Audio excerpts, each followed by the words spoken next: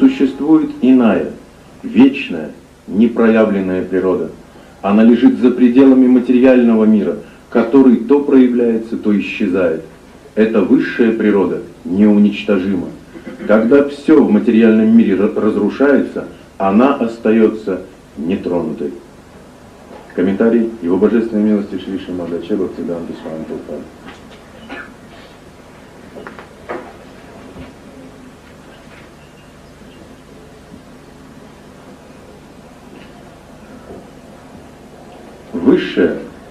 духовная энергия Кришны является трансцендентальной и вечной. Она не подвержена изменениям, происходящим с материальным миром, который с наступлением Дня Брамы проявляется, а с приходом его ночи разрушается. По своим свойствам высшая энергия Кришны прямо противоположна материальной природе, а высшей и низшей природе рассказывалось в седьмой главе Бхагавадгиты. Но существует иная, вечная, непроявленная природа. Она лежит за пределами материального мира, который то проявляется, то исчезает. Эта высшая природа неуничтожима. Когда все в материальном мире разрушается, она остается нетронутой.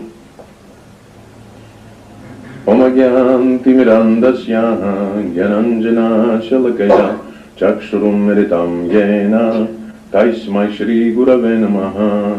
श्रीचैतन्यमनोभीष्टां स्खपितां येन भूतले, स्वयं रूपकदामत्यं ददति स्वपदान्तिकम् वंशिकापादरुभ्यश्च कृपसिन्धुभ्य एव च पतितानां पावनेभ्यो वैष्णवेभ्यो नमो नमः। जय श्रीकृष्ण चैतन्य, प्रभु नित्यानंद श्री अद्वैत गदाधर श्रीवासदि गौर भक्त वृंद हरे कृष्ण हरे कृष्ण कृष्ण कृष्ण, हरे हरे हरे राम हरे राम राम राम हरे हरे।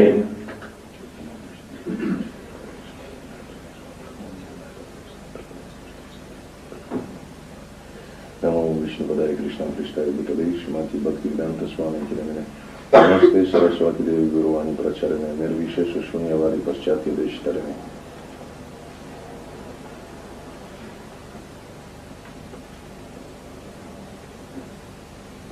Итак, мы с вами продолжим тему квалификация. Конечно, Хатхикари внешняя квалификация, Мадхьяма Адхикари, квалификация разума и Утама Адхикари, квалификация сознания. Итак, мы с вами говорили о том, что Каништха Адхикари, Каништха означает, Ништха слово переводится как устойчивый, а Ка означает кала, время, временная устойчивость. Это означает, что живое существо неустойчиво еще в своем разуме, неустойчиво тем более в своем сознании. Все происходит на уровне объектов чувств, чувств и ума. То есть то, что называют сентиментализмом, если вы помните, сендл означает чувство, а ментал – ум. Чувственно-умственный уровень. И для этого человек, который встает на путь духовной жизни, важно занять его чувство и ум. Поэтому важно дать ему какое-то ответственное поручение, которое смогло бы вовлечь его пять познающих и пять действующих чувств. Познающие, если вы помните, называются гианмендрия. Это зрение, слух, обоняние, осязание, вкус. И есть кармендрия или дхармендрия. Два упоминания есть об этих чувствах Дхармендрия – это означает, что все это предназначено для религиозной деятельности. А кармендрия означает вообще для деятельности, в соответствии с той гьяной, которую человек получает. Как Кришна говорит, гьянам вигьянам сахитам, что гьяна при помощи деятельности превращается во что? Вигьяну. Вигьяну. Итак, теоретическое знание превращается в реализацию. Что же эти за пять органов деятельности? Это две руки, две ноги, речь, анус и гениталии. Это пять действующих чувств, которых, которые называют кармендрия. Итак, человек на этом уровне, уровне каништки, должен быть занят. Его руки должны быть заняты, его ноги должны быть заняты, должен быть занят его язык, должен занят его быть, извиняюсь за выражение, анус и гениталия. Все должно быть занято. И как это занято, описывается в шастрах. Он должен действовать в, в определенном знании, которое он получает. И на первом этапе человек получает это внешнее знание. Итак, мы кланяемся, звеним в колокольчик, складываем руки, а, предлагаем что-то, слушаем. Занимаются все эти 10 чувств. Плюс, говорится, 21, или вернее, 11 это чувство, это ум. Все это должно стекаться в ум. Вся эта деятельность. И этот этап называется Вайтхи Садана Бхакти. Только при помощи этого, когда все занимается в деятельности, человек может измениться. Вот почему важна садхана. Важно, чтобы нас занимали. Важно не чтобы мы себя занимали, поэтому приводится этот термин вайтхи или витхи под руководством. Кто-то руководит нашими руками, ногами, руководит нашей речью, нашим вкусом, нашими глазами, ушами и так далее. Нам говорят что-то определенное. Это называется занять слух, шраваном. Мы смотрим на что-то определенное, на божество, мы смотрим на какие-то объекты, пытаемся их связать с Кришной. Нам объясняют, как связать, как смотреть на жену, на собаку, собакоеда, брамана, корову, как смотреть на золото и камни и так далее. Как правильно соприкасаться чувствами через органы чувств с объектами чувств. Как маленький ребенок, если он не знает еще, он может увидеть змею и попытаться с ней соприкасаться, с ядовитой змеей. Но когда ему дает знание какой-то человек, которого он принимает за авторитета, меняется его отношение к этому объекту. Итак, не имея знания, он вовлекает свои кармендрии, чтобы трогать змею. Он не знает, как правильно соприкасаться, и знание называется гьяна. Но когда он получает гьяну и больше не трогает змею, знает, как с ней правильно взаимодействовать, это проявляется что? Вигьяна. Итак, деятельность рук, ног, речи, ануса и гениталий приводится в движение посредством полученного знания, гьяна. Гьяна означает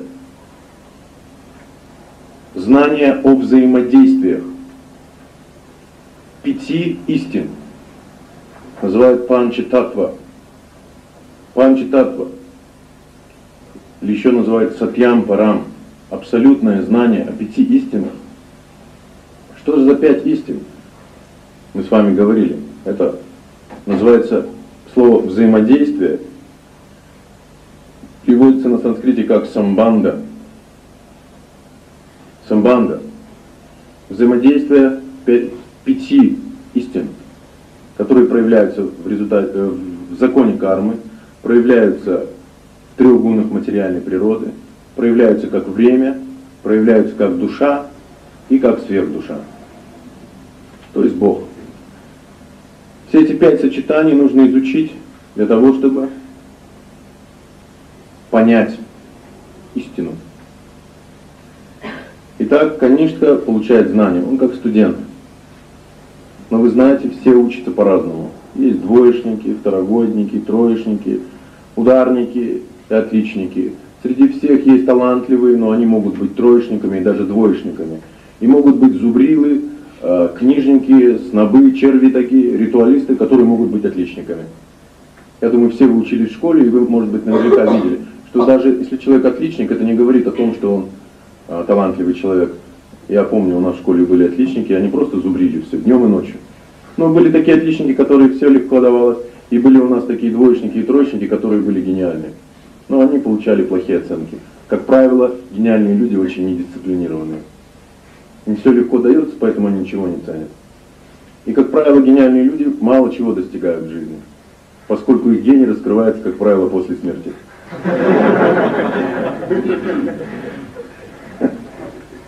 Итак, также и среди преданных есть двоечники, есть зубрилы, есть гениальные, есть разные.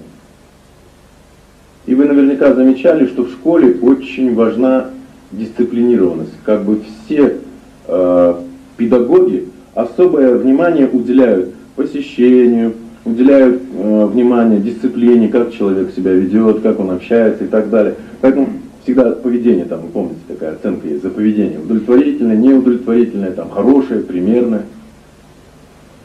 Итак, в духовной жизни поведение человека определяется таким термином, как послушание или брамачария. Брамачария или то, что называют таким термином, как садхака. Садхака – послушник. В переводе на русский язык это послушник. Не слушающий, а послушающийся. То есть, как узнать, что он квалифицирован? Он то, что слушает, превращает в, слушай, в слушанье. Он действовать так начинает. Как увидеть, что человек внимательно слушает?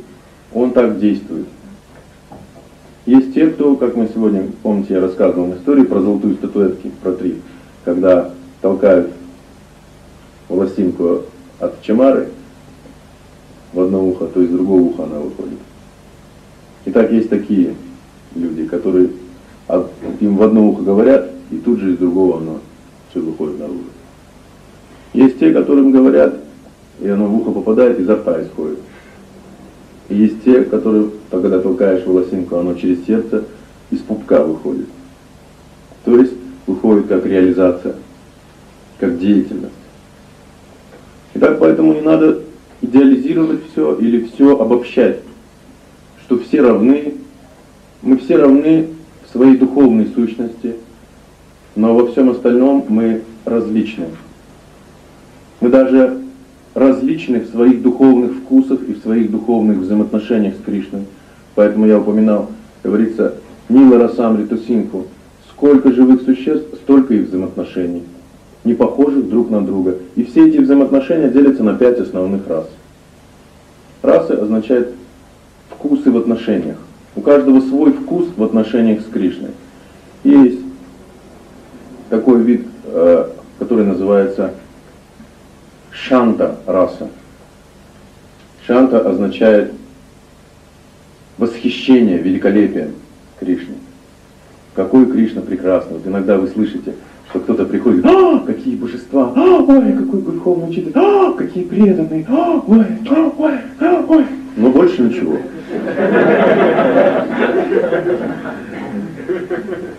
Поэтому это не шанта. Потому что шанта проявляется совершенно в другом это восхищение проявляется как кана окша. Кана означает, что чем чаще человек соприкасается с объектом восхищения, тем сильнее он притягателен для него. Это означает, что человек, который восхищается божеством, он все время думает о нем, он все время пытается что-то сделать для божества. Он так восхищен, что он все время хочет сидеть, смотреть, созерцать это божество. Ему приносит это великую радость. Когда человек поднимается выше, проявляется дасья, желание служить объекту своего восхищения. Проявляется дасья. Вот почему говорится, когда женщина имеет мужа, которого она считает героем, то есть восхищается, то, несомненно, в ней может проявиться естественная потребность в чем? В дасе, да. Поэтому говорится, Естественная потребность проявляется в служении только тогда, когда мы, мы кем-то восхищаемся. Иногда мы восхищаемся ребенком, поэтому он такой, такой толстенький, такой кругленький, такой розовенький, такой боди, боди, боди, боди, боди. И мы, ну вот там вот женщина держит ребеночка, она служит ему, он на ней не сидит. Вернее, он сидит на ней, но она на нем не сидит. Потому что он не восхищается ей. Она восхищается ребенком, поэтому ребенок сидит на ней. Она служит, она стала креслом. Если ребенок захочет, она станет кем угодно, лимовочкой, снегурочкой, она станет деревом, будет изображать тигра, льва. Смотрите, в духовном мире также все это проявлено. Когда объект нашей любви хочет что-то, мгновенно тот, кто его любит, принимает любое положение. И также женщина, когда она кем-то восхищается, это означает, она испытывает это чувство восхищения, то за этим следует желание служить объекту своего восхищения. Не исполнять обязанности, а служить. Служить это значит как-то радовать объект своего восхищения. Тогда проявляется анукулья, желание наслаждать объект своего восхищения, желание удовлетворять объект своего восхищения. Как Рамануджа Ачари встретился с одним йогом, имперсоналистом, и этот йог, он сказал, я слышал, что ты великая душа, я очень много слышал о тебе, великий Рамануджа. Я хочу тебя попросить, научи меня полюбить Бога. Он был имперсоналистом. И он сказал ему, а ты кого-нибудь любишь? Он сказал, что ты, я не так глуп. Любовь это страдание, ты же знаешь, я йог. Он сказал, что ты никогда не любил женщину? Он сказал, я же еще раз тебе повторяю, ты меня испытываешь, наверное. Женщина это Майя. Зачем любить это все? Рамануджа совсем погрустнел и сказал, как же ты хочешь полюбить Бога, когда ты вообще еще не научился любить? Ты не любишь женщин, не любишь отца с матерью, не любишь детей. Как же ты можешь полюбить Бога? Ты хочешь достигнуть последней ступени, не взойдя еще даже на первую. Иди и полюби кого-нибудь. После этого только придешь. Итак,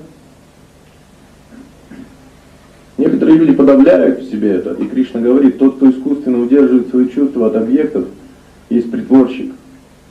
Нужно научиться, как правильно любить, как правильно соприкасаться, как правильно восхищаться, как правильно служить. Поэтому говорится, анукульена Кришна, ну Шиланам. Шиланам означает в четком соответствии с наукой. Любовь – это наука. Наука любви. Даже есть целая наука чувственных наслаждений, называется Кама-сутра. Это как свести к минимуму реакции за чувственное наслаждение. Как правильно наслаждаться. Если у человека возникает куча всяких фантазий, то, по крайней мере, как он может их реализовывать, чтобы получать минимальные реакции называется тамаса.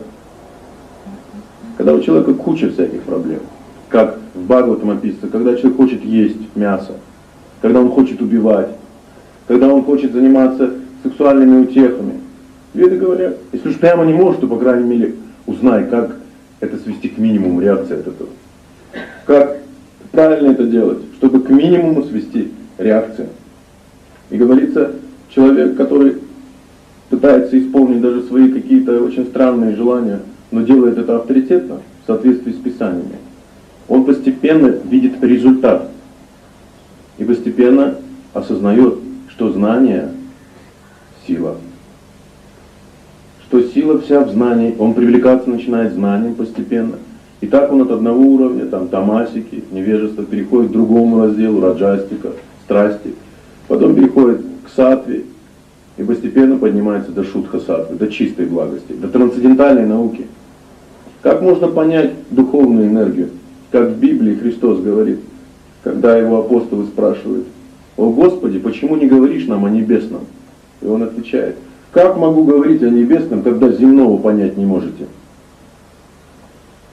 Итак, мы все, несомненно, хотим слушать Лилы Кришны, что-то про Кришну, как он с Гопи пляшет, как они там обнимаются, нектар всех этих взаимоотношений, читать какие-то книжки, я говорю, которые великие личности даже не могут осознать.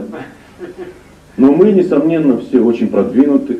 Мы говорим о житии святых, христианских, мусульманских и так далее. Мы восхищаемся.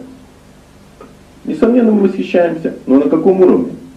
Итак, существует восхищение в невежестве, в страсти, в благости.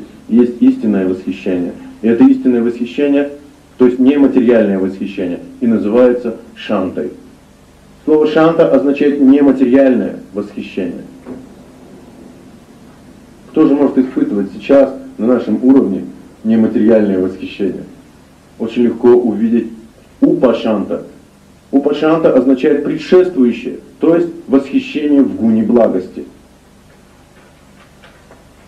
Примесью страсти преобладает восхищение в гуне благости, но там есть немножко примесь страсти и чуть-чуть невежества. И когда низшие гуны вычищаются, проявляется шанта, чистая благость шуда сатва, и появляется это восхищение. Но для того, чтобы увидеть человека, что он в шанте, мы должны понимать, что такое, когда он в гуне благости восхищается. И на сегодняшний день мы почти не обнаруживаем среди друг друга таких людей, которые бы хотя бы в гуне благости восхищались божеством. Это означает в гуне благости что такое? Просветленный, возвышенный, получивший знания, освободившийся от реакций прошлого, мудрый и религиозный. Мудрый и религиозный человек, возвышенный, просветленный, освобожденный от реакций прошлого. В чем же выражаются реакции прошлого? В том, что у нас есть тяга. К чему? К страсти и к невежеству. У нас есть тяга к страсти, к невежеству. И поэтому мы не можем осознать положение божества, потому что знание приходит в гуне благости. Знание, как прекрасно божество. Вы можете видеть в Индии такие странные божества с позиции э, современного зодчества. Очень такие странные.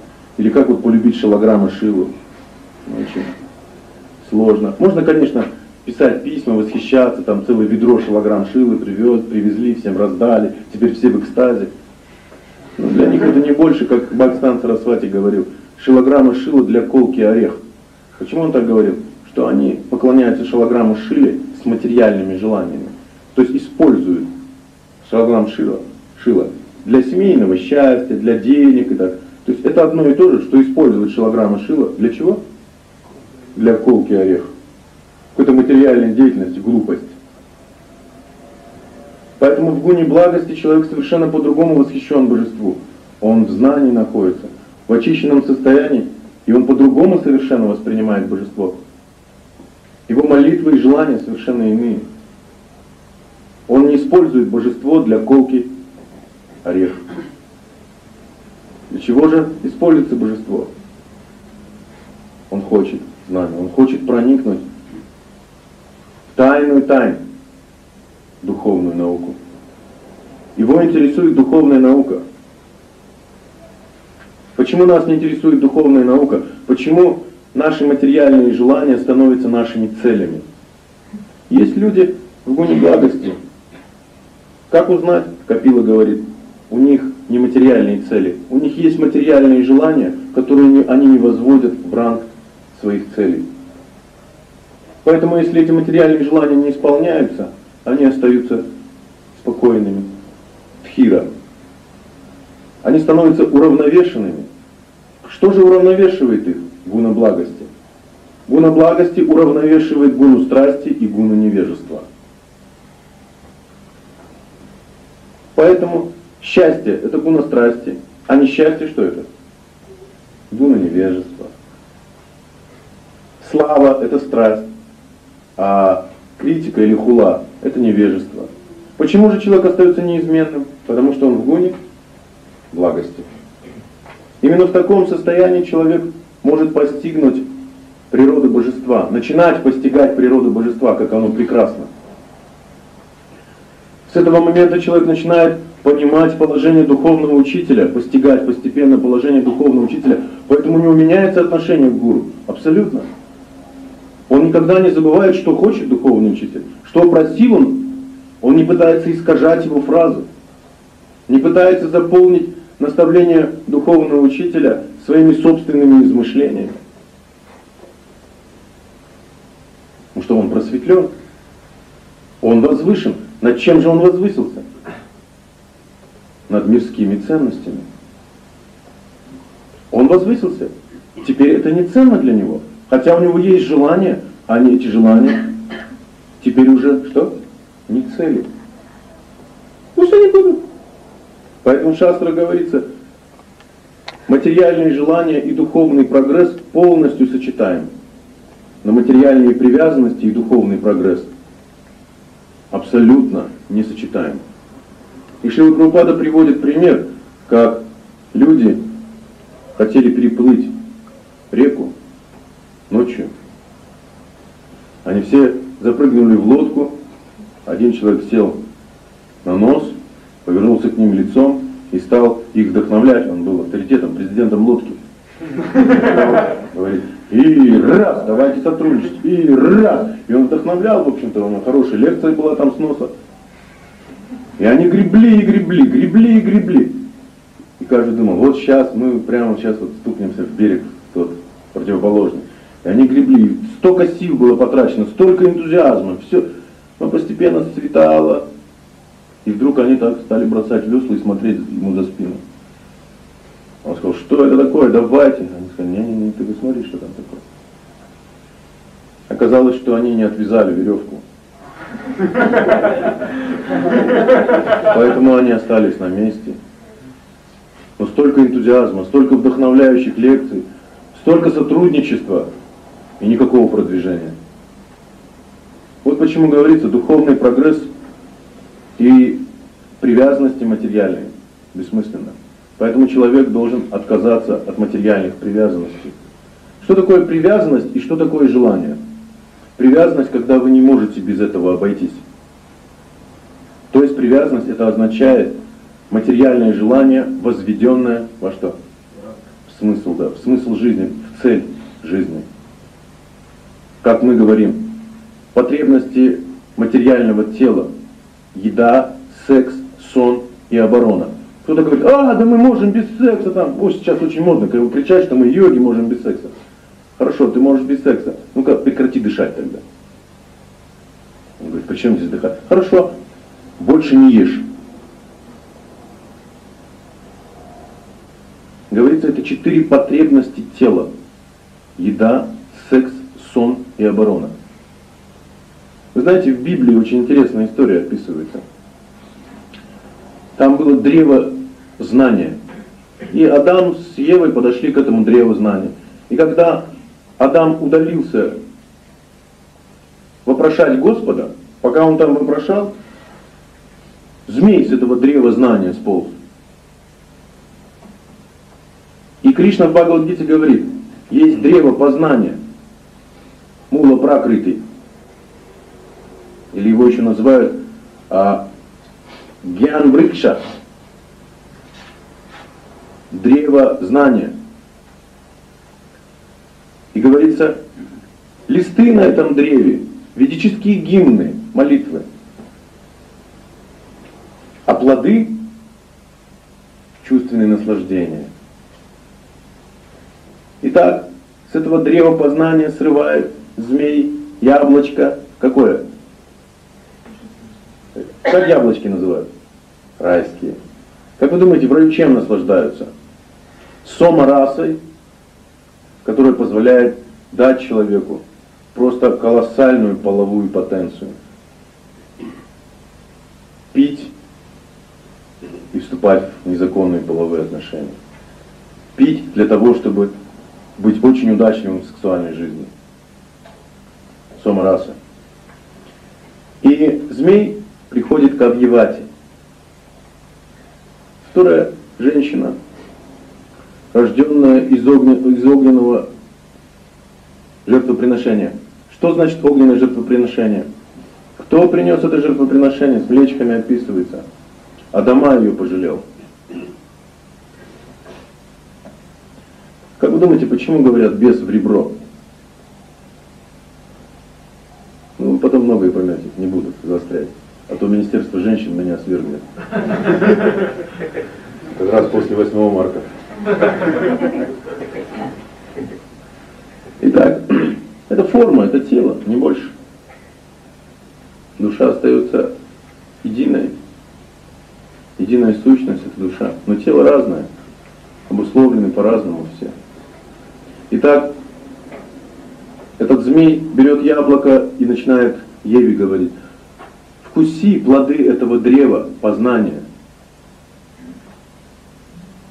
И Ева соглашается, и она вкушает. И удивительно, что с ней происходит. Как вы думаете, она стала стесняться, что она ест, стала стесняться, что она спит, или она стала стесняться, что она обороняется? Что же больше всего ее забеспокоило, как вы думаете? В Библии это описывается. Обнаженная. И что же она прикрыла? Грудь, лицо, попу, извиняюсь за выражение. Что же она прикрыла? Такая обнаженная. Что же она увидела обнаженным-то? А? Почему же она не стеснялась своего лица, плечей, грудь, живота? Говорится, она срам прикрыла. Чем же она прикрыла его? Это называется фиговый листок. А листья этого дерева, это что? Вот так вот они и прикрывают свой срам молитвами. Не они это, не я не имею в виду христиан, а люди. Люди. Так они пытаются прикрыться священными писаниями, не понимая их сути. И поэтому Каништха, он также кричит. О, там, цитирует шастры, что все это женщины майя, секс это разруха и так далее. Явно в его речах куча много всего, что не связано с знанием, антипатия. Он не может видеть трезво вещи такими, какие они есть. Поэтому он думает, что секс это уже плохо. И мы с вами вчера обсуждали, что Каништха приходит к выводу, что не надо наслаждаться. Как вы думаете, откуда у Каниш столько критики, политики, неудовлетворенности всеми окружающими? Они удерживают свои чувства. Они все супер брахмачарии они все наиштхика брахмачари становятся. Или уртхварета, они думают, они начитались книжек и думают, о, самое главное, это хранить семенной фонд, на который, в общем-то, никто не посягает. Но у них начинается мания, что все посягают на этот семенной фонд,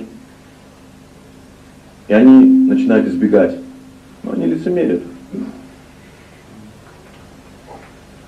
Итак, канишки, когда они удерживают свои чувства, в первую очередь половую потенцию, они едят только просад, естественно. Так где-то на Санкиртане можно что-то съесть, там, в киоске, когда никто не видит. А в храме, ну только листья тулоси и только просад. Ну, опытные люди уже знают. Те новички все очень серьезно меня слушают. Опытные люди уже знают, о чем я говорю.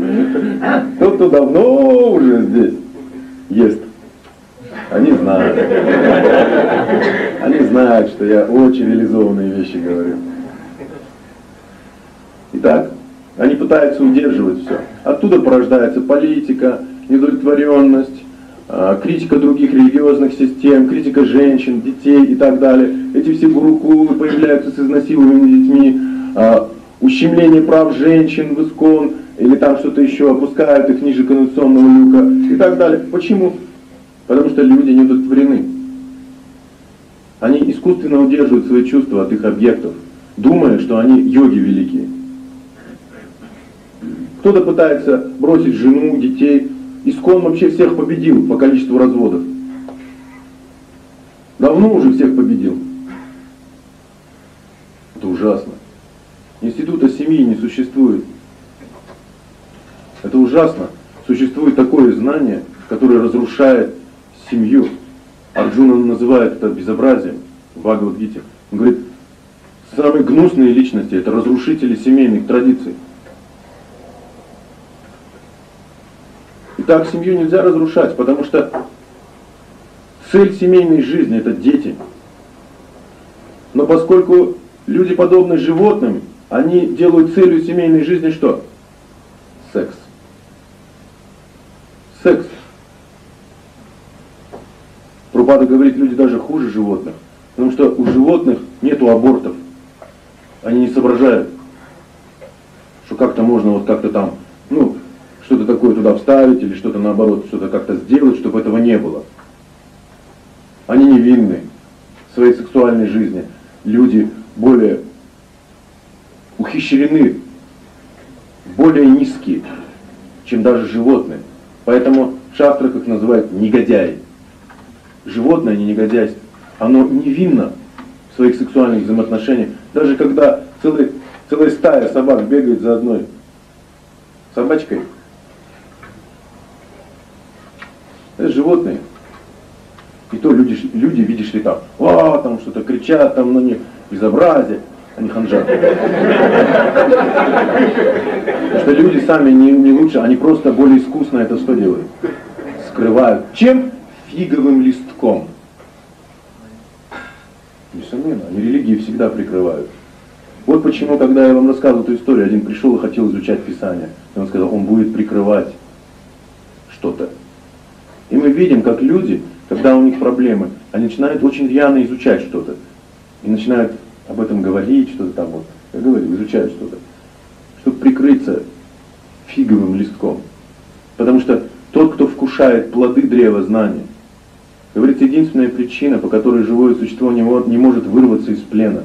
Кандалами и оковами материального мира являются сексуальные взаимоотношения. А они проявляются только тогда, когда человек пытается наслаждаться плодами. Поэтому Библия очень авторитетное произведение. Прабхупада всегда говорит, тот, кто изучит ведическую концепцию, он может правильно увидеть все религии. И увидеть их что? Единство и различие. Не отличие, а различие. Как правая рука и левая рука, но прикрепленная к одному телу. Итак, все очень авторитетно. И когда живое существо вкушает плоды с дерева познания, мы сейчас здесь все находимся у древа познания, мы изучаем все это, и появляются плоды, и те, кто наслаждаются плодами этого знания, они предлагают их Кришне, несомненно, у них возникают какие проблемы? Несомненно несомненно, сексуальные проблемы, и они в результате того, что наслаждаются плодами религиозности, они попадают в мир двойственности, в мир добра и зла. Вот почему они. То, что по отношению к ним приятно, они говорят, что это добро. То, что им неприятно, они считают это злом, поэтому они не находятся в равновесии. И тогда они становятся поборниками добра другие становятся поборниками чего? Зла. Так и идет эта вечная борьба. Вечная борьба добра и зла. Мы думаем, что добро это гуна благости. Нет, это страсть. Потому что добро чувственное. Вот почему Кришна сказал Арджуне, что все это, счастье и несчастье, добро и зло, рождаются из чувственного восприятия. Из чувственного, это чувственно-умственный уровень, сентиментализм. Поэтому чем более похотлив человек, тем он более что? Правильно. Это говорится в йога сутре Патанджали объясняет. И самыми сентиментальными между полов являются кто? Вот почему понятно, что у женщин больше сексуальных проблем. В 9 раз женщина более озабочена сексуально, чем мужчина. Поэтому, говорится, женщина в 9 раз больше украшает свое тело, чем мужчина. В 9 раз, значит, сильнее ложная эго. И поэтому, чтобы защитить женщину, чтобы снизить эти проблемы, в Библии и во всех шастрах говорится, в Ведах говорится, что женщина должна служить. То есть пытаться кого-то наслаждать. Действовать желанием удовлетворить. Не удовлетворяться, а удовлетворять. Иначе она будет деградировать. Потому что ее шакти, кама шакти, в 9 раз сильнее, чем кама шакти мужчины. Говорится, один половой акт для мужчины это вообще ничего для женщины физиологически. Это знают врачи. И то, что для женщины 9 половых актов, для мужчины вот это один. Поэтому женщины больше не удовлетворены. Когда они еще не знают своей природы, они думают, что нет, у меня меньше. Просто они не знают об этом. И поэтому, когда половая потенция не удовлетворяется мужчинами, которые не знают законов религии, почему Арджуна беспокоится, он говорит, что когда они прекратят соблюдать религиозные обязанности и находиться под защитой мужей, то они все станут причиной появления кого? Варна Санкары, то есть они похотливы станут, потому что никто их не будет обуздывать. Они станут похотливыми, и тогда они начнут бороться за равноправие. Они начнут эмансипировать, потому что выброса нету. Половая потенция не занята, они никому не служат, кроме детей. А детям они не служат как авторитетом.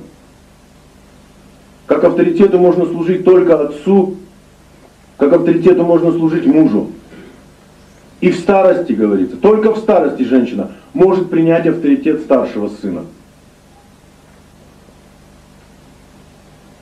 Поэтому говорится, что женщина должна быть под защитой в детстве отца, служить отцу обязательно. В юности или в молодости она должна быть служанкой мужа, и в старости она должна стать служанкой кого? Старшего сына. Если человек не понимает этих тонкостей, то у него также рождаются проблемы.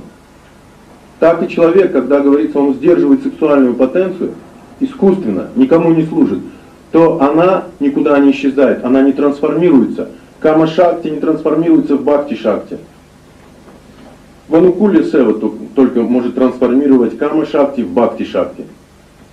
То есть служение называется только тогда, когда вы делаете что-то для удовлетворения своего объекта. И делаете именно то, что его удовлетворило бы. Вы не являетесь мерилом. Исполнение обязанностей это означает вы мерите. Вы говорите, я сделаю, я готовила, вкусно, ешь. Вы готовите для языка того, кому вы готовите. Вы стираете так, как ему нравится, гладите так, как ему нравится, одеваетесь, как нравится. И тогда, говорится, эта потенция трансформируется. Через анукулия севу у женщины начинает развиваться что? Гуна благости. Служить это гуна благости.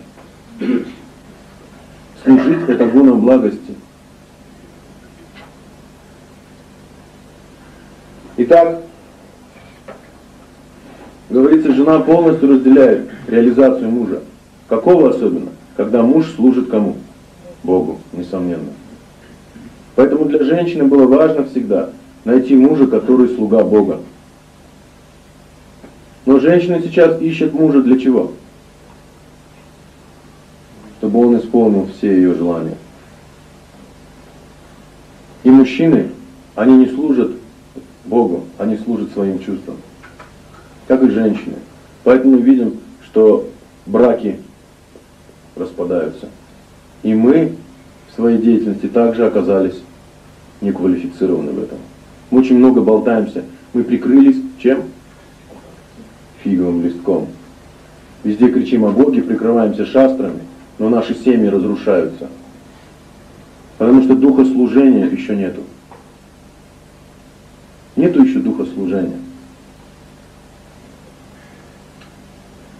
Итак,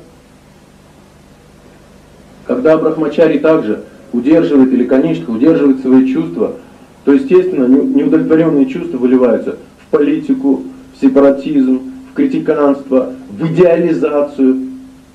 И говорится, что сексуальная проблема никуда не уходит. Грубая сексуальная потенция легко сдерживается, но она вытекает как вода. Попробуйте сожмите воду. Вы можете сжать воду? Нет. Итак, когда человек сжимает свои грубые сексуальные желания, они уходят и превращаются в какие? В тонкие. Это желание славы, желание почести окружающих и так далее. И желание богатства. Вот почему человек, когда он не служит, мы можем видеть, он вроде не нарушает принципы, но у него желание машин, желание там денег, он все ради пожертвования начинает делать, там, то есть опять славы хочется, много распространять, чтобы все кричали киджай, ложную скромность изображать, чтобы все прославляли, что он такой смиренный. Как узнать, что человек нечиславный? Если вы не будете его прославлять, а даже более, будете его что, критиковать, он никаким образом не будет затронут. Но как узнать, что он просто искусственно удерживает? Суть не в том, что он вступает в какие-то грубые отношения. Нет. Он просто никому не служит. Он исполняет обязанности, но служит он, продолжает служить своим чувствам.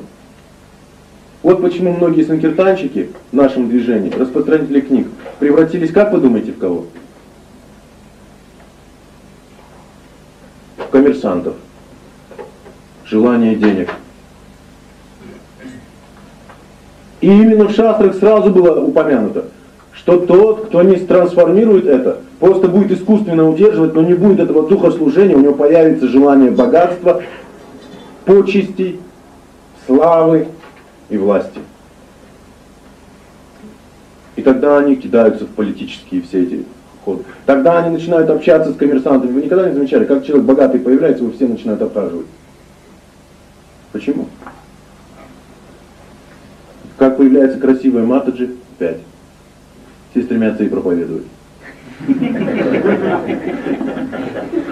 Все стремятся много распространять, слава нужна. Много что-то делать, нужна слава. И так говорится, хрен редьки, не слаще. Это означает, что эти люди не квалифицированы, они канишки архикарии. Они гоништы, они не квалифицированы. Они не понимают, что вожделение трансформируется только в результате анукулия севы, когда вы кому-то служите. Анукулия означает с желанием удовлетворить его. И только когда вы видите, что он удовлетворен, тогда вы счастливы. Тогда вы чувствуете, что вы послужили. И никогда свое удовлетворение не выдаете никому за то, что удовлетворен тот, кому вы так служите. Потому что так делает только Каништха, неквалифицированный человек. Потому что если у него была бы квалификация, он бы так никогда что не делал. Почему? Он не враг себе. Говорится, ум может быть другом, а может быть врагом. Потому что ум называют Бхагавадгита чанчала, непостоянный, непостоянный и изменник, изменчив. И когда человек не подчинил свой ум желаниям своего господина, его ощущениям, его представлениям, то ум становится врагом.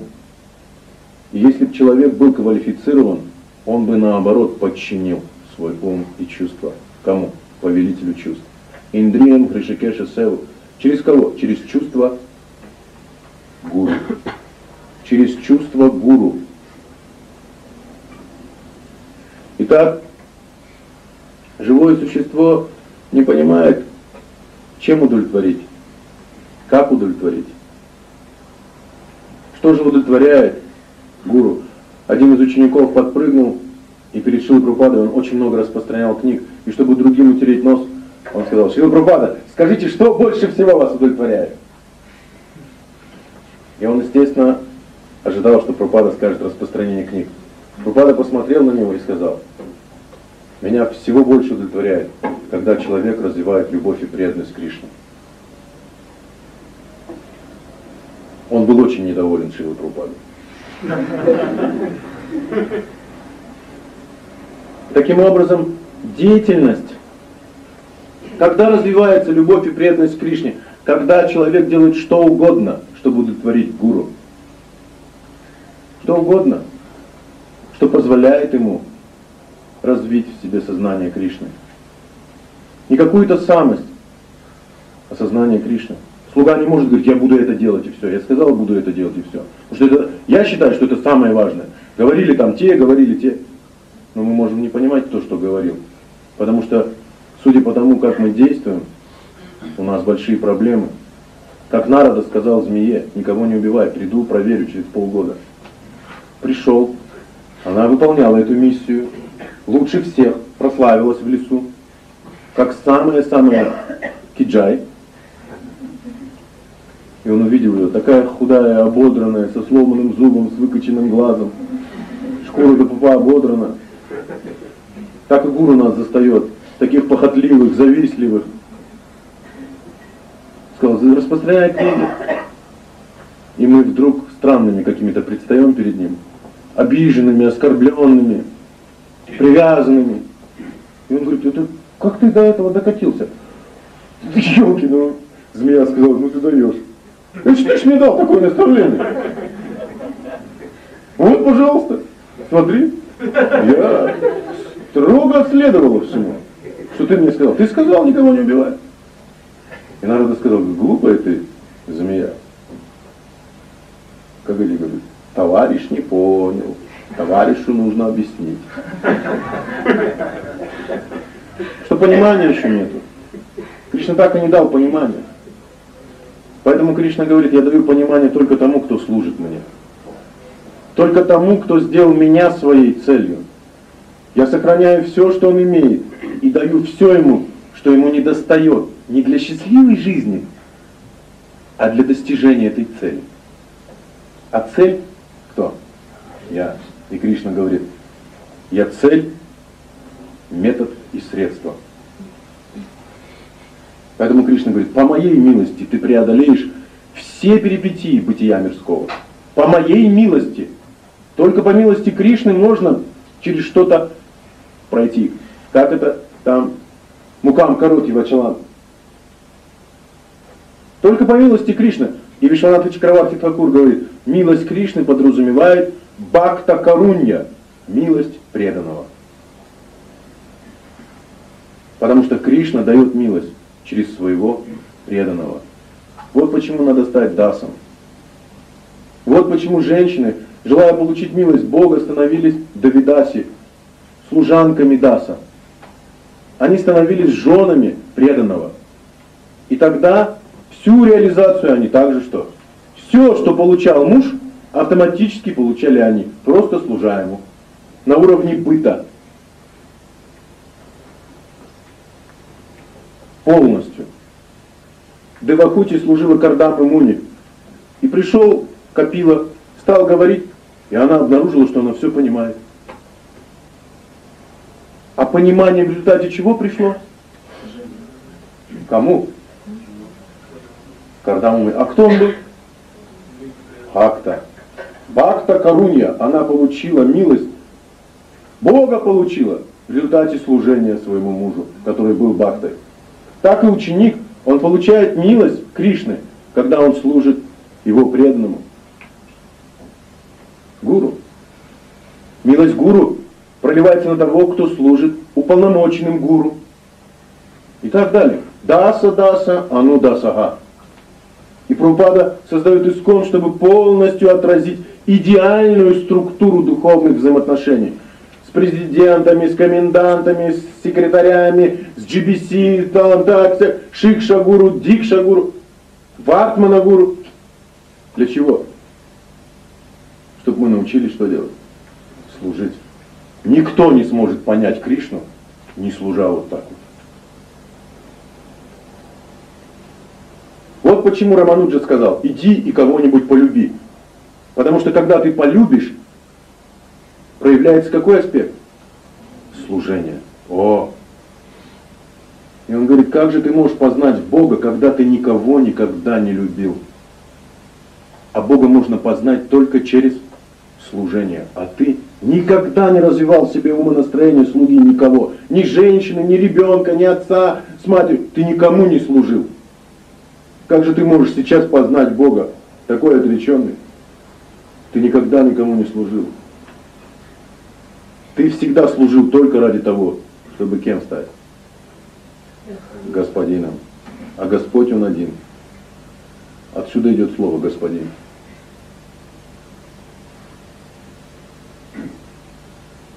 Итак,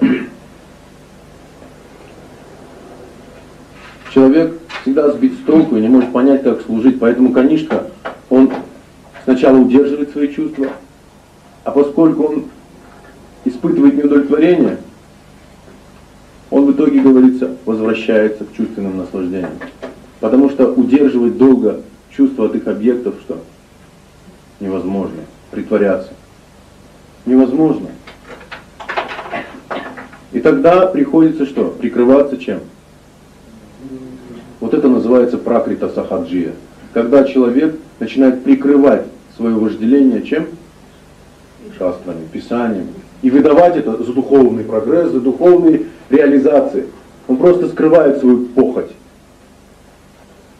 И тогда он пытается прикрыться фиговым листом, потому что он наслаждается плодами с древа познания.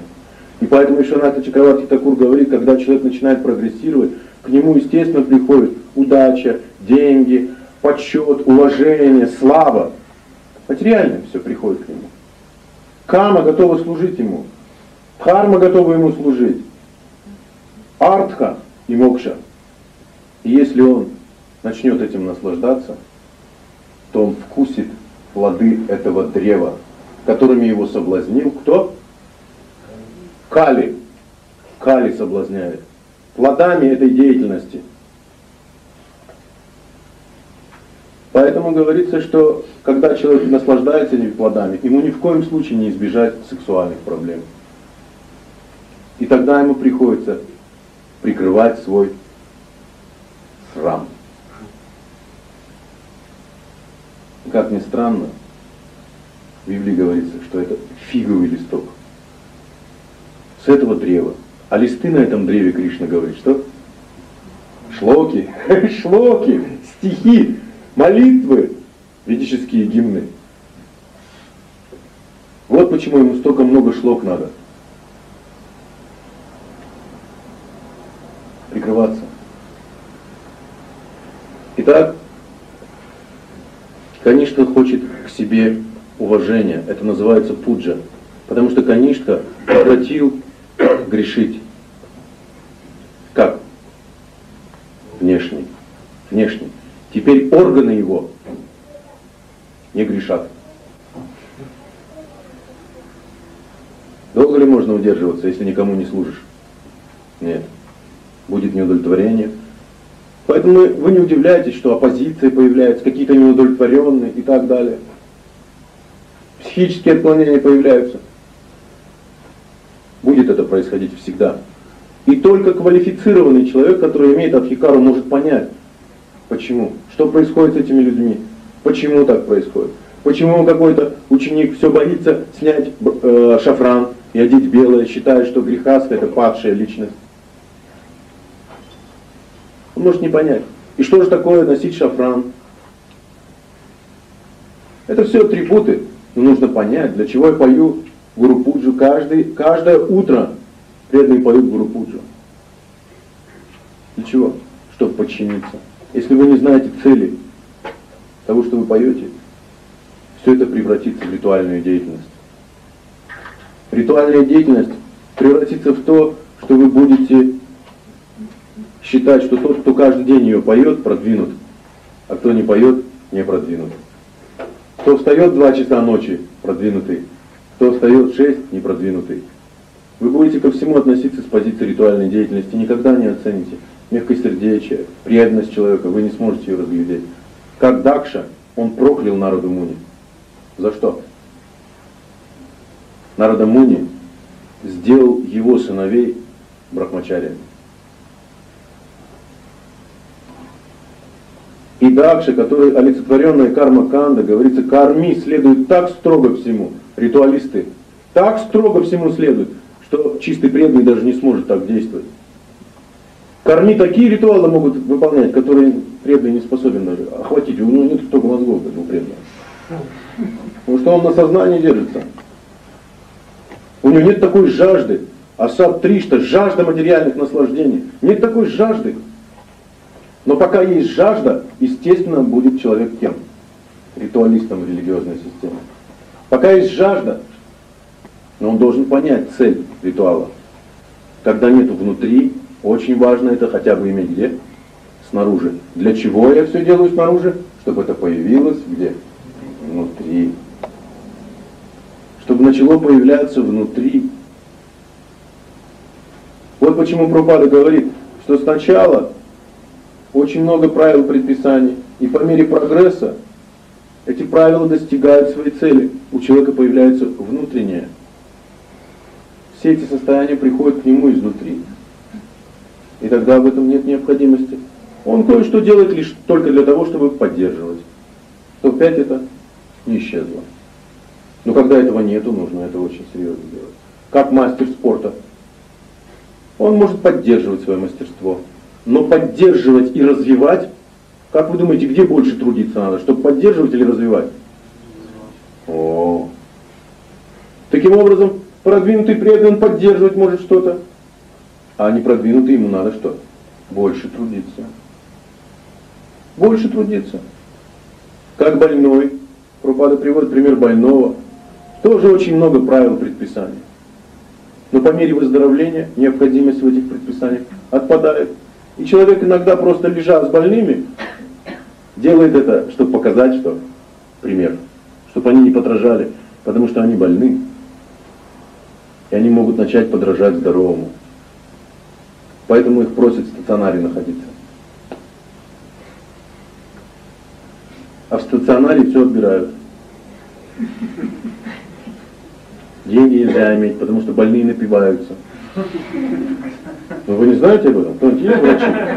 Они постоянно там квасят эти больные. Особенно тем, кому это очень нельзя делать наоборот. Они пьют постоянно, какие-то легочники все курят. Эти в вен-больницах, они постоянно там за забор бегают куда-то непонятно. Наоборот, то, что у них очень сильно. Поэтому там ничего нельзя иметь. Телевизор со стальки до стальки, лекция о политических событиях. Ну, я так шучу немножко, но вы можете понять. Пропада именно этот пример приводит больных людей. Они все одинаково одеты. Иногда, чтобы не завелись вши, их что? Бреют. Иногда бреют для того, чтобы человек был отреченным, чтобы никуда не свалил. Пропада иногда смеялся и говорил, мы бреем голову, потому что мы в таком виде не пойдем в ресторан. И все это приняли как за истину. Рубада шутил, потому что для, для них бритая голова это факт. С такой головой никуда не пойдешь. Но брить голову не в этом, не потому что ходить в ресторан. Вы думаете, что Господь читания брил голову, чтобы не ходить в ресторан? Это как все думают, что не есть мясо, это милосердие. Ну это так же глупо. Или думают, что если в азартных играх не участвую, я правдивый.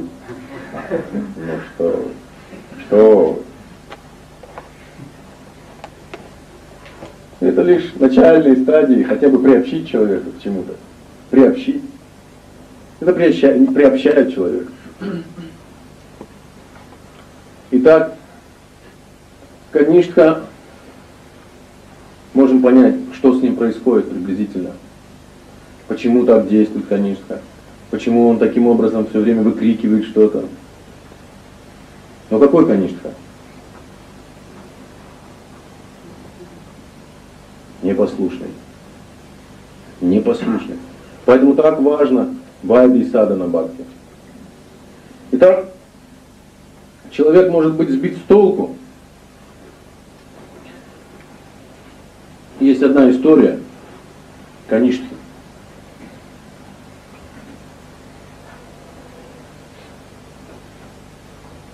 На дороге сидели два нищих. Один был Каништха Адхикари, а другой был Матхьяма Адхикари.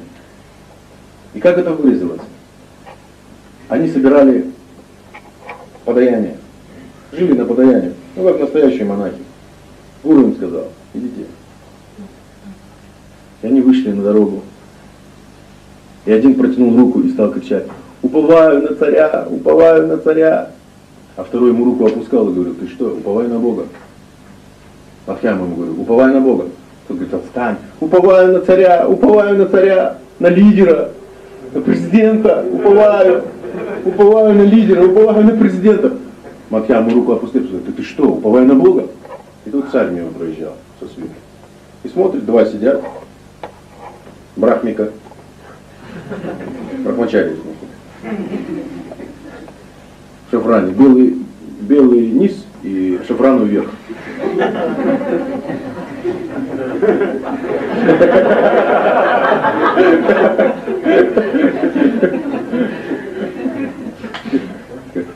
Комбинация такая. В шатрах их называют упа курвана брахмачари, которые только и думают, как жениться. Поэтому изображают из себя отреченных, чтобы привлечь внимание женщин. Потому что женщины особо привлекаются какими?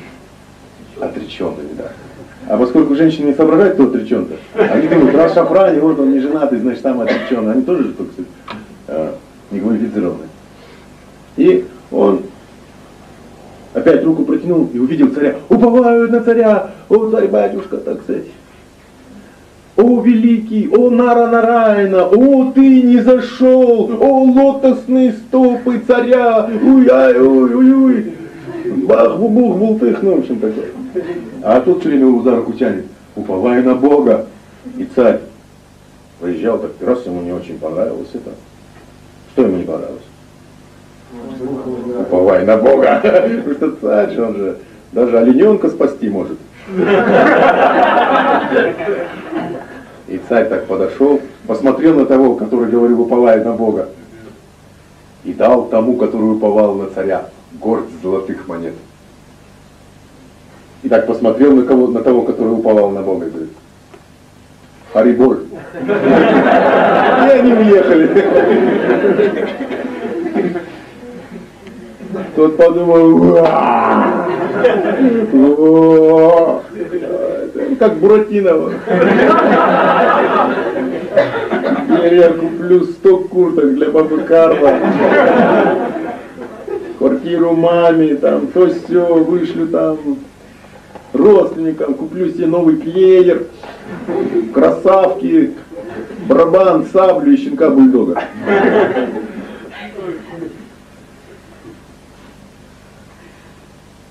На следующий день царь возвращался из того места и смотрит, этот сидит с барабаном, с саблей, щенок бульдог, значит, красавки у него на ногах.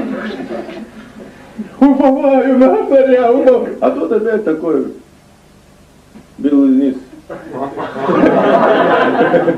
И он говорит, уповай на Бога, уповай на Бога. И царь сказал своему одному подопечному, остановимся. Они остановились, сошли за коней, и он сказал, у нас есть коровая хлеба, ну, булка хлеба. И сказал, да, есть. И царь туда драгоценных бриллиантов натолкал в хлеб. Много золотых монет. И один бриллиант был целое состояние, а он целую кучу туда, несколько десятков бриллиантов натолкал и очень много золотых монет. И он вышел из-за коня и опять подошел, тот говорил, уповая на Бога. Замолчал, так и смотрит на царя. А тот говорит, Ваше Величество, лотосные стопы, вы не зашли, вы необычная личность. Ну, знаете, короче говоря. Вам знакомо это чувство. И царь так, на того, который уповал на Бога, так на него посмотрел. И дал этот каравай тому, кто уповал на царя и уехал. Тот был так счастлив. В следующий раз царь возвращался и думает, что же там происходит. Смотрит, тот уже со старым дырявым барабаном сидит, ша, сабля у него уже такая, сабли нету, одни ножны. Кроссовок нету. Продал все уже. А того, который уповал на Бога, вообще нету. Царь подъезжает. Тут, о, ну и понятно. О, Магьяна Тиберанда Сия, Янаджана Жилакая, Чакшурун Билетам Ян Я. И Ваше Величество, вы самый великий из всех великих. И он говорит, а где этот-то? Он говорит, да я не знаю, что-то он, падла, разбогател вообще. А где булка хлеба, которую я тебе давал? Он говорит, так ты дал мне, я потрогал, она такая тяжелая, я думал, сырая, плохо выпеклась. И я дал ему. Я говорю, на, булка хлеба мне не нужна. У меня еще были деньги. Он взял, говорит, спасибо. Бог подал. Пошел, отдал жене. Жена стала резать и обнаружила большое богатство. Теперь они живут счастливо. Ваше Величество, подайте, пожалуйста. Царь постоял, посмотрел на него, взял его за руку, убрал руку и сказал, дурак ты, не уповай на меня, уповай на Бога. Хари Кришна.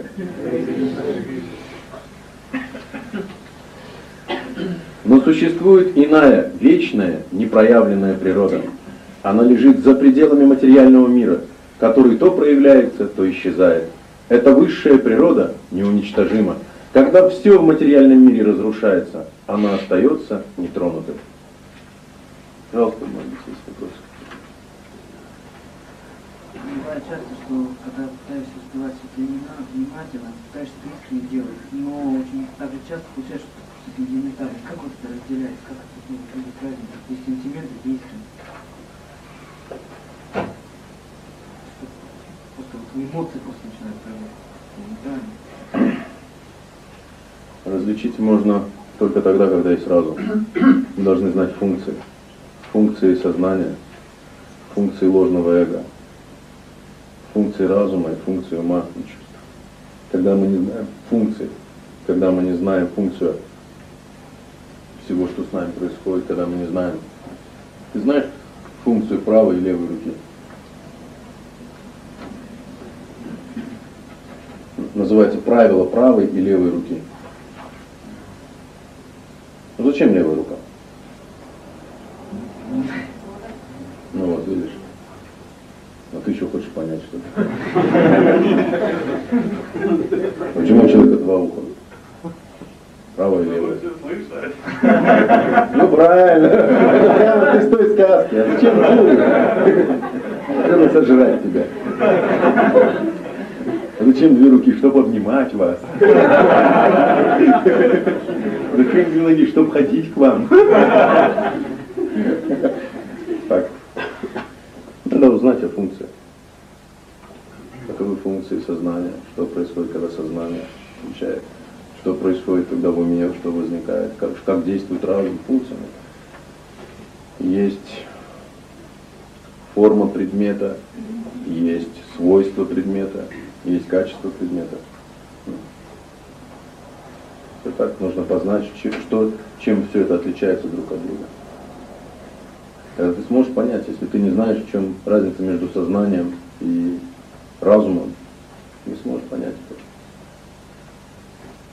Также человек, когда он не может различать, где экстаз, а где сентиментальность, он, значит, должен узнать, где не экстаз. Что такое экстаз? Ты вообще знаешь, что такое экстаз? Но как же ты хочешь его различать? А? Как ты будешь это различать, если ты не знаешь? А, чтобы я сейчас тебе, тебе сказал, дал информацию, как различать. Ну, этому надо учиться. Должен знать об этом. Сейчас я не могу этого сказать. Знаешь, как один мудрец зеленый орех взял и сказал, можешь вытащить оттуда ядро, не потревожив ядро? Он сказал, нет. Что скорлупа плотна к ядру и скорлупа мягкая. Если ее содирать, то потревожишь. И он сказал, почему? И он сказал, потому что плод незрелый. Он тогда взял другой орех зрелый и сказал, а сейчас можешь так сделать? Он говорит, конечно. Разломил и вытащил ядро. Вот точно так же и продвинутый человек.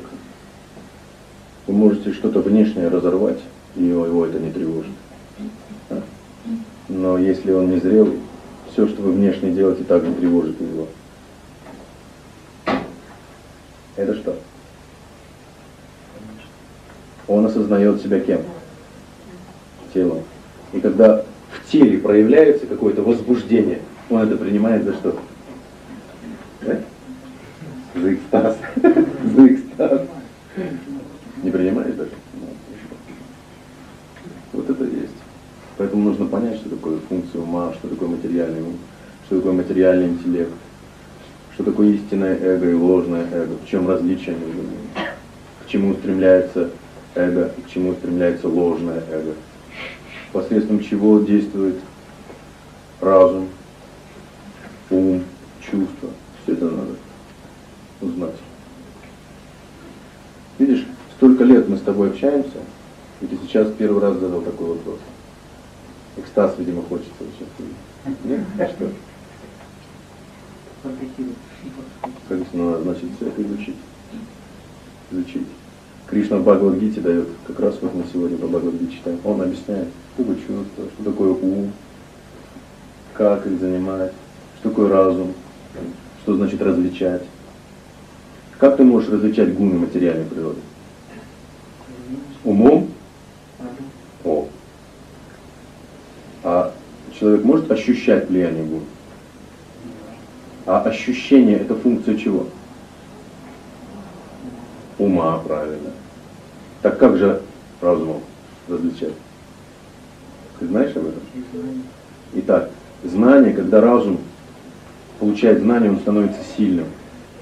И разум начинает пронизывать что? Ум и чувство. Разум начинает действовать через ум и через чувство. Но когда в разуме нет знания, тогда чувство действует через ум на что? На разум. Все наоборот. Очень просто. И тогда объекты оказывают сильное влияние на чувства, которое оказывает сильное влияние на ум, которое просто элементарно убедит и заставит это принять что? Разум.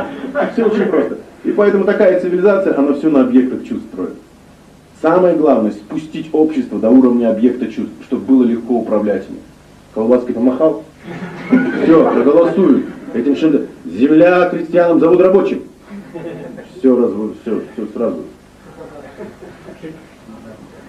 Объектами, заманить объектами чувств.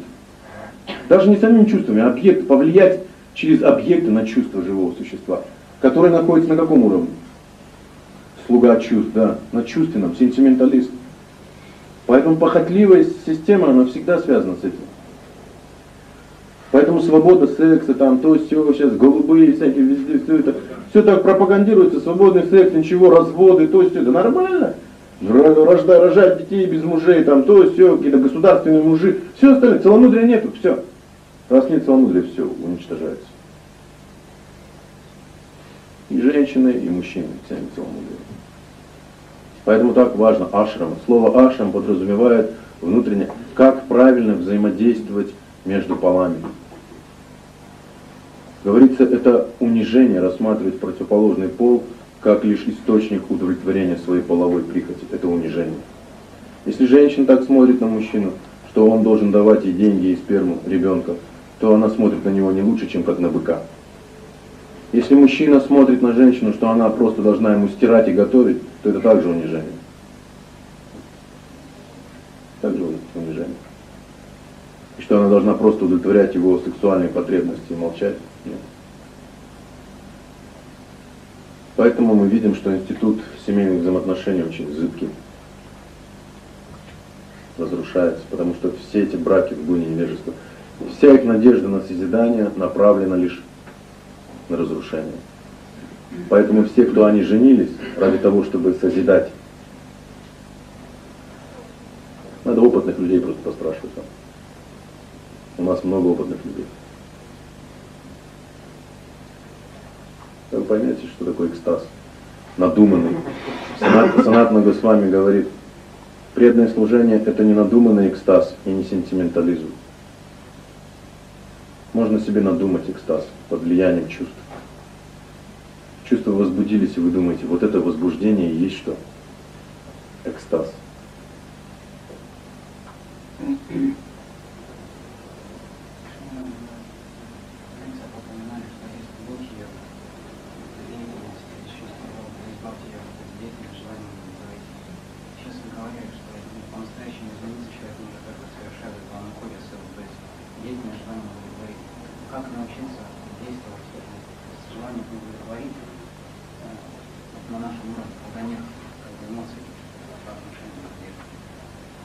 Нету эмоций к чему? По отношению к объектам служения.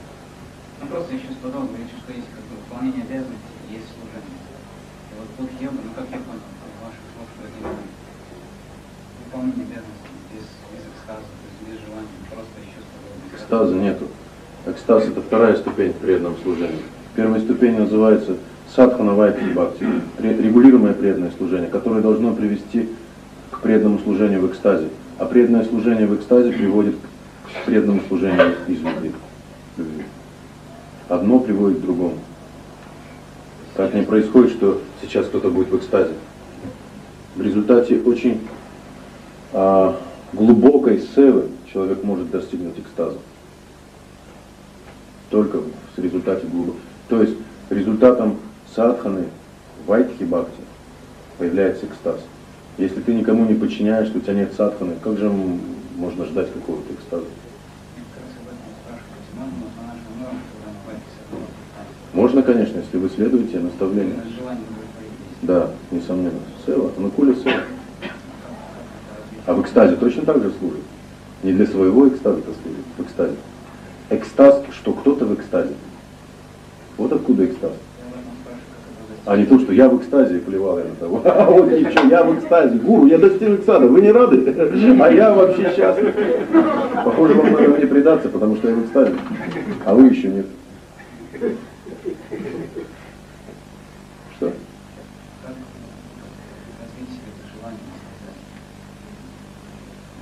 Надо восхищаться. Вы должны увидеть. Не надо завидовать. Не надо завидовать.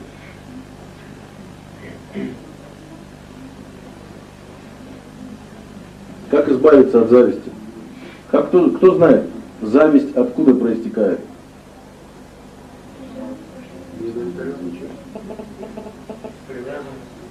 Правильно, из привязанности. Из привязанности. Зависть возникает из привязанности. Чему же завидует живое существо? К тому, к чему оно привязано. Кто-то завидует славе, кто-то завидует чему угодно. Поэтому говорится, завистливые и злонравные, низшие среди людей – 16 главе Бхагавадгиты Кришна их так называет. Завистливые и злонравные, демоничные люди. Они очень завистливы, и эта зависть перерастает в злонравие. Из зависти они так действуют. А завидуют они почему? За привязанность. Им кажется, что кто-то наслаждается больше, чем они. Они думают, что тот, кто что-то имеет, он наслаждается. Поэтому они начинают испытывать антипатию. Хотят взять эти источники чувственного наслаждения. Говорится, демоны, они очень завидуют преданным. Они не завидуют Кришне, потому что не понимают положение Кришны. Кришны. Они завидуют преданным особенно. Демоны всегда завидуют преданным. Говорится, что Дурьядхана, он не завидовал Кришне, потому что, чтобы, было, чтобы завидовать Кришне, надо, по крайней мере, понять, что он верховный наслаждающийся. А это только преданный может понять. Он не понимал положение Кришны. Он считал его гениальным человеком, чем угодно. Но он был сам гением.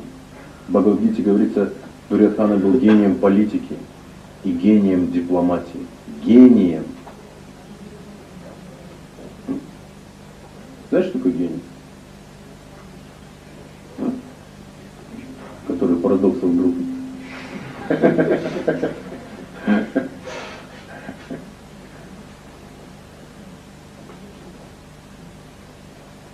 Он. И он думал, что Кришна такой же гений. Поэтому зачем завидовать было? Потому что Кришна не был гениален в и в дипломатии, поэтому нечем было завидовать. Поэтому Дурятхана не завидовал Кришне. Но он очень завидовал Арджуне, очень завидовал Накуле, Сахадеве. Особенно он завидовал Пхиме. Особенно.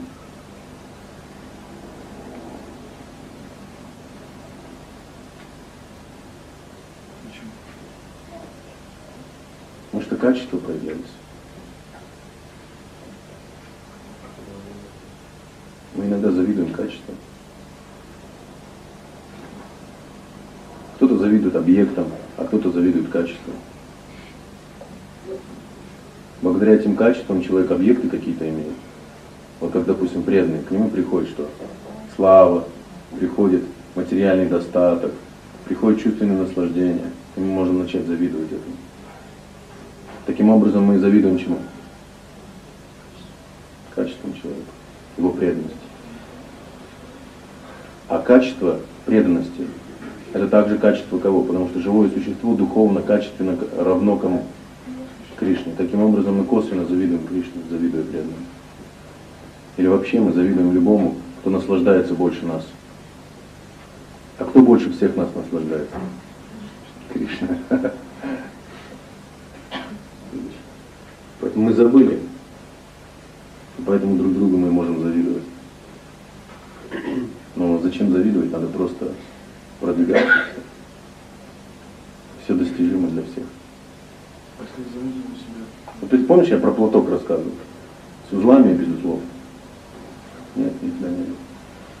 Ученики очень завидовали гуру, они думали, о, какая слава. Но он им сказал, зачем вы мне завидуете? Просто развяжите узлы, и вы будете такими.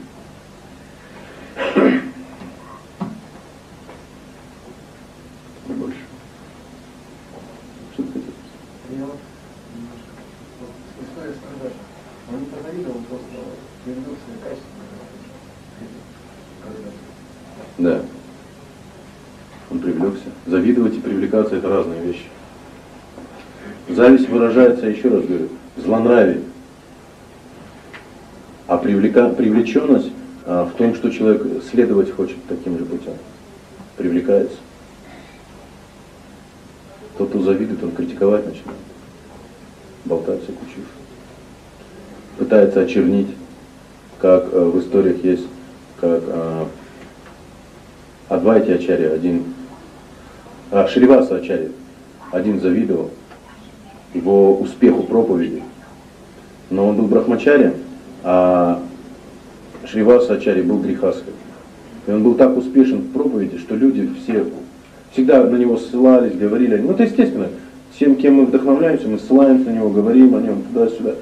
И его это задевало. И он считал, что грехаска не может быть продвинута. Но он видел результаты, и он завидовал. Когда он проповедовал, никто такого не почитал. Как бы он себя не вел, его не почитали. Потому что ложное эго, оно не привлекательно. Только привлекательно сознание Кришны. И Шривас Ачарья был привлекательным для людей. Люди ему жертвовали, там то да сюда. И такая зависть у него была, что он взял и парфинарий поклонения Дурги ему там подложил. Чтобы люди утром вышли и увидели, что как будто бы он как тантрик какой-то, что он тантризмом занимается, что он там всякие бубнит, всякую фигню и все остальное. Из зависти он это, что он завидовал. И когда Шривас Ачарья он вышел и увидел это все, он стал кричать, люди, смотрите, я опять всю ночь занимался там, тантрами. Там. И все начали хохотать. Никто не поверил. Потому очень хорошо знали его.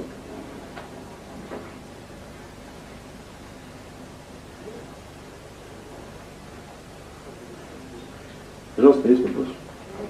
Утром на лекции вы говорили, что человек до посвящения, а, как бы повторяя свое имя, ну, не оказывает на душу влияния, а как бы на термин другие. Душу это оказывает влияние, когда человек слышит это из уст возвышенной личности. Это оказывает на душу влияние. Но его собственное повторение оказывает пока еще, потому что он не чисто воспевает. Чистое святое имя оказывает влияние на сознание сразу. Но оскорбительное воспевание на сознание не оказывает влияния. Ну, на кармические какие-то. Это говорится, определенные процессы происходят. Но, говорится, слушать святое имя из уст материалиста это одно и то же, что пить отравленное молоко. Поэтому конишки, они везде поспевают, в автобусах, в трамваях, везде кричат Хари Кришна, всем Кришна Бог, они это Кришна всем впихивают. И поэтому они совершают оскорбления. Они распространяют славу святого имени неверующим. Они даже не знают, что из-за этого их духовная жизнь также накрывается медным тазом. Поэтому всегда просят неофитов, пожалуйста, не проповедуйте своим там родным, близким. Не оскорбление не наносите. Потому что проповедовать тем, кто в это не верит, это оскорбление, потому что они начинают что делать? Критиковать, начинают наносить. Не, не, не надо этого делать. А вот ну, в остальных книге мы иногда распространяем мантры, Харе Кришна Бхагаватского, раздаем, и говорим, что